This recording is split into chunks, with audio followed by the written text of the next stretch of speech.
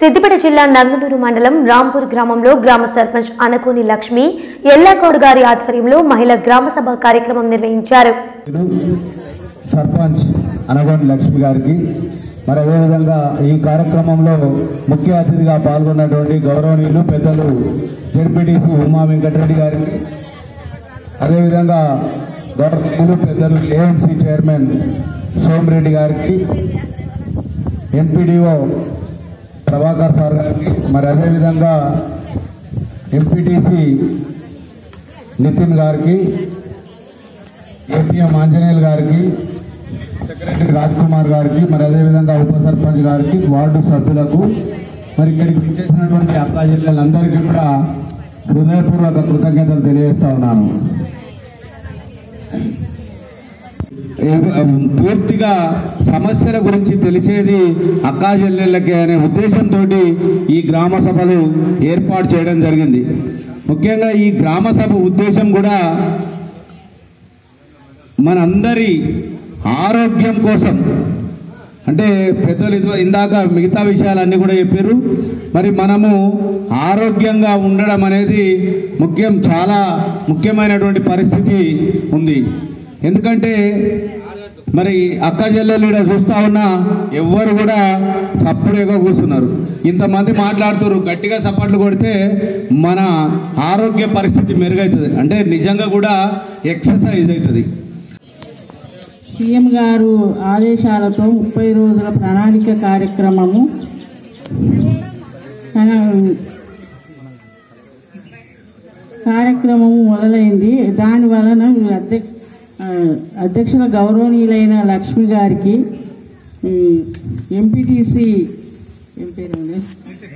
Little గారికి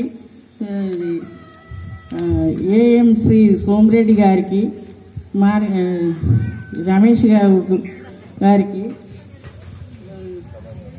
Prabhakar Reddy MDO గారికి కార్యదర్శికి వీడికి వచ్చిన అంగన్వాడీ టీచర్లకు ఎంయూ ఇది సిస్టర్కు పాల్రెడ్డి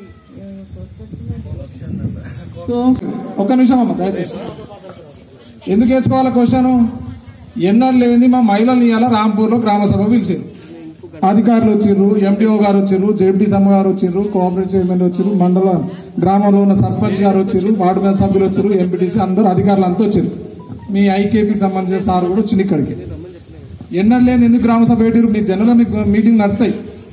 మహిళా సంఘం మీటింగ్ నడుస్తుంది నెల నెల మీటింగ్ నడుస్తుంది మీ లెక్కలు పద్ధతులు రాసుకుంటారు వచ్చేటి ఏంది పోయేటి ఏందని రాసుకుంటారు మరి ఇవాళ ఏదో టెంట్ వేసి మంచిగా మొత్తం ప్రతి ఒక్కరిని పిలిచి మీటింగ్ పెట్టడం ఎందుకు పిలిచాడని మీరు తెలుసుకోవాలి దయచేసి. ఎందుకు చేసిండు మన హరీష్ రావు సార్ గారు అంటే మన శాసనసభ్యులు హరీష్ రావు గారు తెలంగాణ రాష్ట్రంలో ఎక్కడా లేదు. ఎక్కడెక్కడైతే భారతదేశంలో తెలంగాణ రాష్ట్రంలో ఆదర్శ గ్రామాలుగా అయినాయో అక్కడ దోమ ఎక్కడైతే దోమలు లేని ఊర్లు ఉన్నాయో ఎక్కడైతే పరిశుభ్రంగా ఉండే ఊరుందో ఎక్కడైతే జ్వరం రానటువంటి ఊర్లు ఉన్నాయో ఆ ఊర్లల్లో ఏం జరిగినాయి ఏం పనులు చేసినారు ఎట్లా చేసిరు అనేది మొత్తం సార్ తెలుసుకొని మనని కూడా కొంతమంది ఆ ఊర్లకు పంపించిన మన అధికారులను మన కొంతమంది మంది. అక్కడ ఉన్న విషయాలు తెలుసుకొని దాంట్లో భాగంగా మన నియోజకవర్గంలో మన దగ్గర కూడా మహిళలందరినీ కూడా చైతన్యపరిస్తే మహిళా గ్రామ సభలు పెడితే ఇంతకుముందుకి ఈ అమ్మ మాట్లాడుతున్నట్టుగా గసంటి క్వశ్చన్లు వస్తాయి.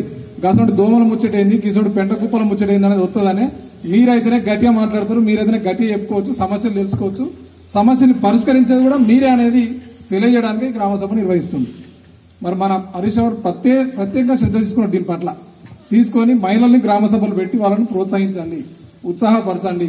వారైతే సమస్యలు తెలియజేస్తారు సమస్యల పరిష్కారకర్తలు కూడా వాళ్ళే అనేది చెప్పడానికి ఇలా గ్రామ సభలు నిర్వహిస్తున్నాం. దీంట్లో ఏం చేయాలి మరి మనం?